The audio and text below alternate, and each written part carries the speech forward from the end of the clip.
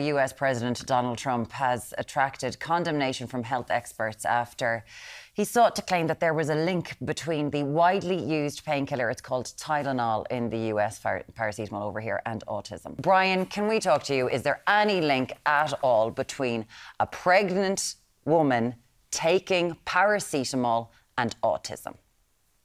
No.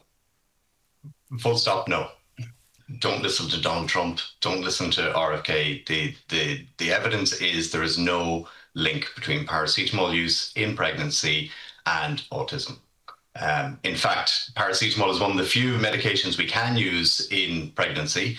Um, certainly, the, the worry would be uh, if you didn't take paracetamol, for example, for a high fever in early pregnancy, that can increase the risk of miscarriage. Um, it can increase the risk of uh, neurodevelopmental issues as the brain and spinal cord is forming in early pregnancy.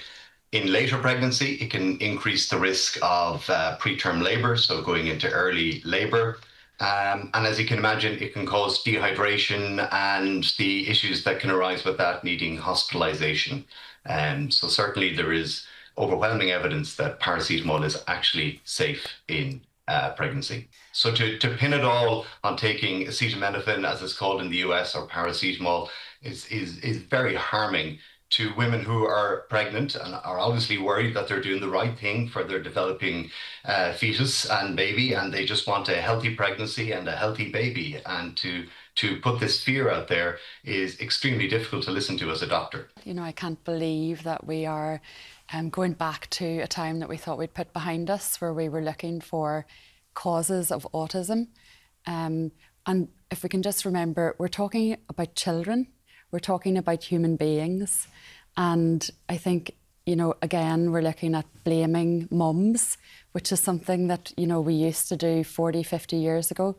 Um, parents who already feel incredible guilt, um, you know, in relation to their children when um, you start off on this journey, that is the overwhelming feeling in any event. Um, and we just, I just, you know, it, it was flabbergasted really with the um, content of the press conference yesterday, as I'm sure everybody was, and just echo Dr. King's um, confirmation in relation to paracetamol and um, obviously our messages, you know, that um, being autistic is just a neurotype, another neurotype that is as equally valid and perfect and um, valuable as any other neurotype. Yeah.